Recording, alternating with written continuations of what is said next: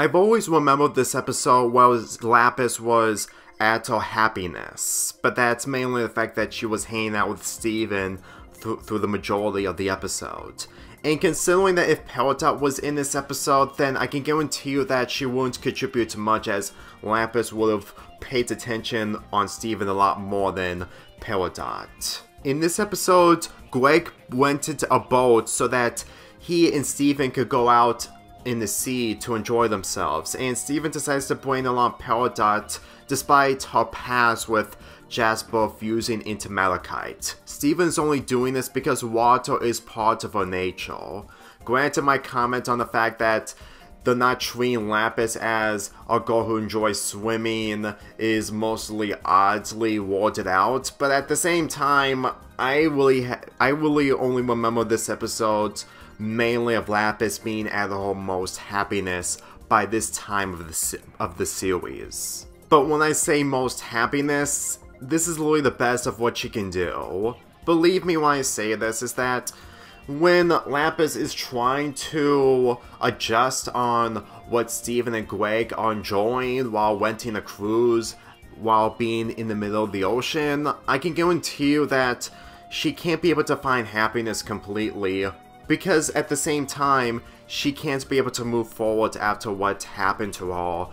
in the beginning of the season. And to tell you the truth, her relatability really showcase of how it's difficult to move forward and enjoy yourselves while relaxing when you can't be able to move forward completely. At times, it's somewhat difficult to understand what Lapis is feeling if you're not fully related to her like I am, but when you really think about it, sometimes rewatching these episodes years later is honestly the better alternative to understand that these episodes have aged well, but at the same time, other people just don't find the episode aged good when it comes to their own different perspectives. So whenever I think about this episode centering around Lapis trying to fit in with Steven and Greg, to tell you the truth, it's honestly difficult to actually find happiness. In same old world she has no other place to sleep other than at the barn, you can really tell that she can't be able to find different alternatives,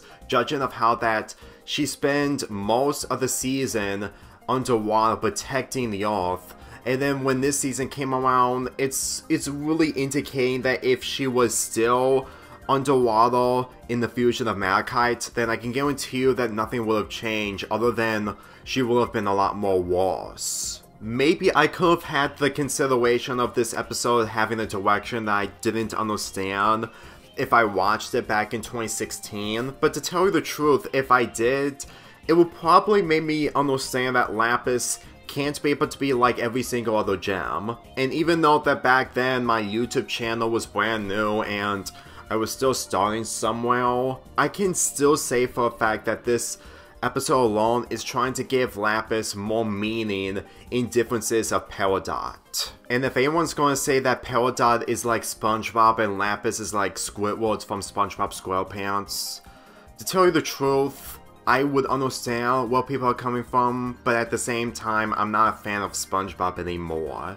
And believe me, even though that both shows are highly different from, from each other and there was a crossover when it comes to fan art, for me personally, I just don't understand the connection when it comes to Lapis's portrayal in this show and Peridot's portrayal. Though, maybe similar to SpongeBob and Squidward, but at the same time, Squidward lives in the sea, and he and he never got fused whatsoever. Not to mention that he never got traumatized. Believe me, the only time that he got traumatized was the Ink episode, but that's a different story. And to tell you the truth, when it comes to Lapis's personality,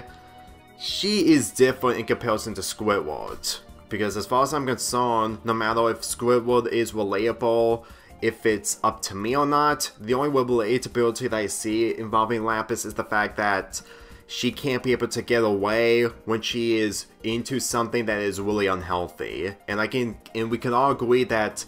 Squidward doesn't have any of those qualities or negatives. Speaking on unhealthy, we get to see Jasper in the final minutes of this episode who wants to fuse with Lapis in order to form Malachite again, and to tell you the truth, I really felt like this scene was a lot more severe in comparison to my first binge watch of the episode. To tell you the truth, whenever Jasper is desperate to be in a fusion with Lapis, she just wants to be stronger and being invincible against anyone that comes in her way. And when it comes to Lapis, with her being so obsessed in the fusion with Jasper for so long, they really wanted this fusion thing to be unhealthy as possible. Like, when it came to Pearl fusing with Rose,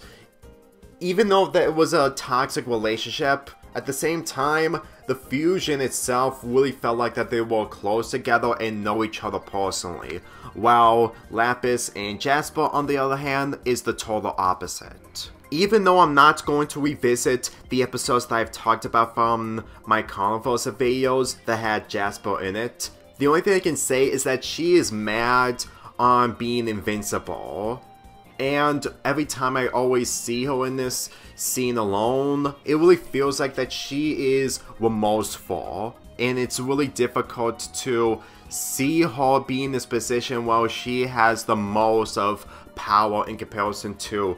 Peridot and Lapis. If Jasper did fuse with Lapis again, she would have been a lot more insane since that she was manipulating Lapis until Lapis punched her out in order to have her be her own self again. Believe me when I say this, the only thing that gave me when it came to Jasper's character from this episode is the fact that she is insane and it really shows in the episodes Gem Hunt and Crack the Whip. And with her being more powerful, even without Lapis, really shows that she was extremely deranged. Even though that, like I said, I'm not going to revisit the episodes that I talked about in my Carniverse videos, I am still going to talk about the the remaining episodes that centered around her in this season. As far as I'm concerned, that's honestly one of the only episodes that I remember when it comes to the fusion of Steven and